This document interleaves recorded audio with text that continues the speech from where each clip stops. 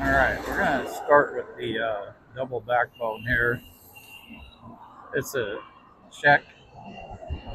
For, it's a Czech d- dark logger. Okay, we're gonna start with the double backbone. It's a Czech dark lager, Czechoslovakian, Czech. Don't know how you say it exactly, but that's how I'm saying it. 4.8%. It's a dark lager.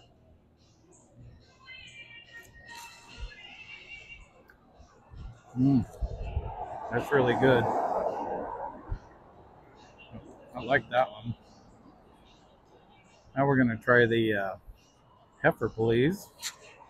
That is a Bavarian Hefeweizen. It's 4.8%.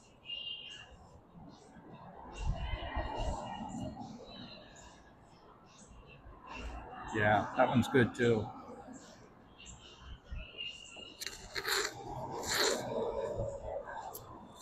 Now we're going to the Golden Lager. This is a Bavarian lager and it's 5.2%. This is the strongest one that uh, ABVs that I'm going to try.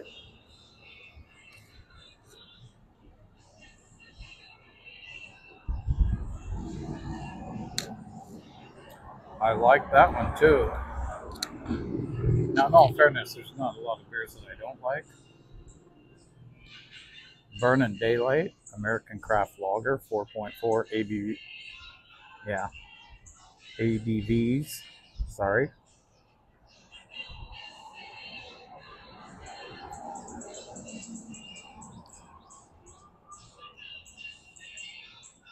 That too is a good beer.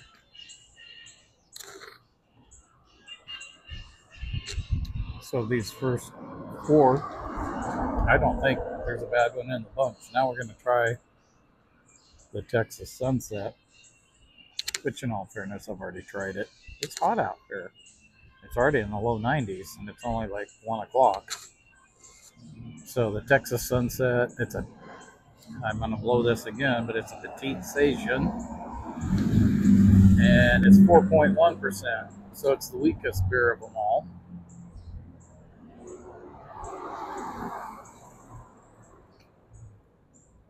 Huh. So they're all good. I'm probably going to have to do this again. See if I can figure out which one I like the best. So we're at Hound Song Brewing Company in Columbus, Texas. We're on Main Street. It's small town. I don't know, probably around 3,000 people or something like that. I haven't looked up the population, but a little noisy outside. But I got Thor out here with me. Greta's in doing some shopping, so we're going to sit here and enjoy the rest of our beer.